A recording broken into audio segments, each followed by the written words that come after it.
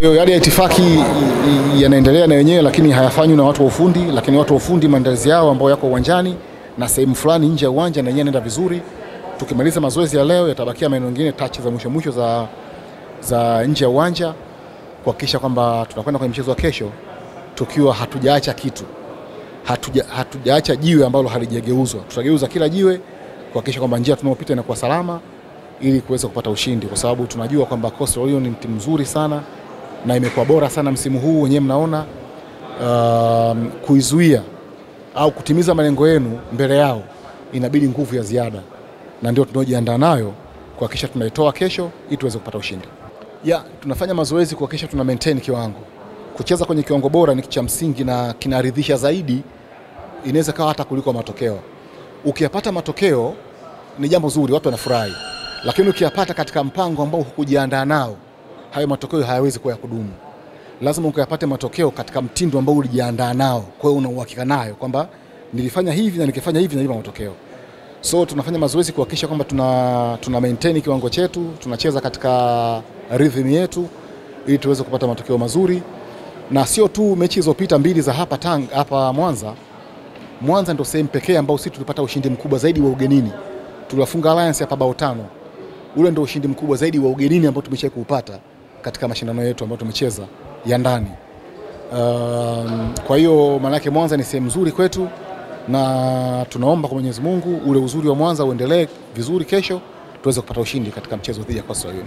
Tunaangalia tulipokosea katika wakati uliopita tuweze kurekebisha wakati unaokuja, na ndio maana si tulishinda ile kombe 2019 tukadhani kushinda kunatosha kugaranti ushindi unaokuja. Haikuwa hivyo, tukatoka robo fainali msimu unaofuata wakati tukitetea kombe letu, tukagundua kwamba kuna sehemu tulikosea, tukaenda kurekebisha. Tulipoenda msimu mwingine tukatoka nusu fainali, tukaona haikutosha. Uh, tukarudi tena tukafika nusu fainali, tukatoka nusu fainali tena, lakini kwenye penalty, changamoto imekuja penalty, na hawa wa Coastal Union walitoa kule Arusha. So ilikuwa ni improvement. Nusu fainali ya nyuma yake tulitoka dakika 90, hii tukavuka dakika 90, lakini haikutosha pia. So tukarekebisha tena, tukaenda kukaza nati fulani hivi, tukatoka tukafika hadi fainali. Msimu uliopita tumefika fainali, lakini tukatolewa. So inaonyesha kwamba tuko kwenye, kwenye improvement na tunafanyia kazi yale ambayo yamekuwa yametukwamisha.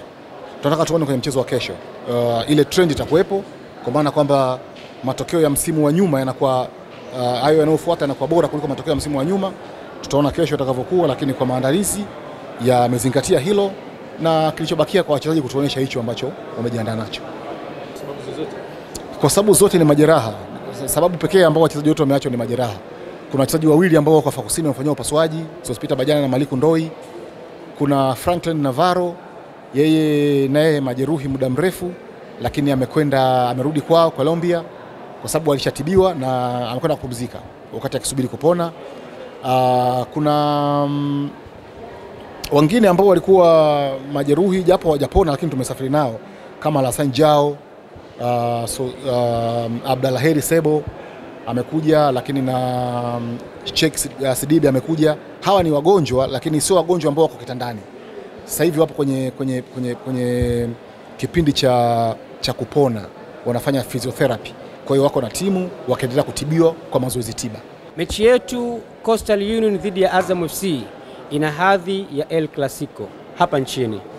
Uh, haijawahi kutokea kuwa na mechi ya Azam dhidi ya Coastal Union au Coastal Union dhidi ya Azam ikawa mechi rahisi. Mechi zote ambazo tumecheza ni mechi ambazo zinakuwa ngumu kwa Azam, zinakuwa ngumu kwa Coastal Union, na ndio maana tunazipa hadhi ya El, El Clasico, zina hadhi sawa na El Clasico. Kwenye hii nusu fainali inaweza ikazidi kwa sababu Azam ameshapoteza kila kitu msimu huu anachokitaka. Katika plani yake yeye ni angalau kushinda vikombe kila anachoshiriki, na bahati mbaya ni kwamba vyote amevikosa, amebakisha kikombe hiki cha shirikisho. Uh, na uzuri wenyewe Coastal Union kwa msimu huu tumejipambanua, tunataka kitu gani? Katika malengo yetu ya kwanza ni kuhakikisha tunafika fainali ya kombe la shirikisho, tunamaliza katika ligi tukiwa nafasi ya nne. Kwa bahati nzuri, mpaka sasa hivi asilimia 95 ya hayo malengo yanakwenda kutimia. Tuko nusu fainali, tuna step moja tu ya kuweza kuingiza eh, timu fainali ambayo ndio, ndio, ndio malengo makuu yetu ya msimu huu.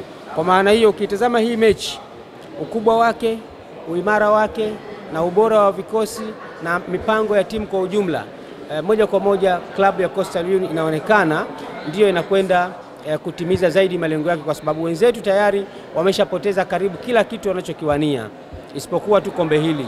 Sisi tumepata kila kitu tunachokihitaji msimu huu. Malengo yetu ilikuwa ni kufika kumaliza nafasi ya nne. Alham, alhamdulillah tuko vizuri. Msimu huu tumeplani tufike e, fainali kwenye kombe la shirikisho. Alhamdulillah tuko nusu fainali. Kwa hiyo unaona ni dhidi ya timu ambayo inakwenda kutimiza malengo yake, dhidi ya timu ambayo imeshapoteza karibu nusu na robo ya malengo yake. Mgongo Kaitira, Mwananchi Digital, Mwanza.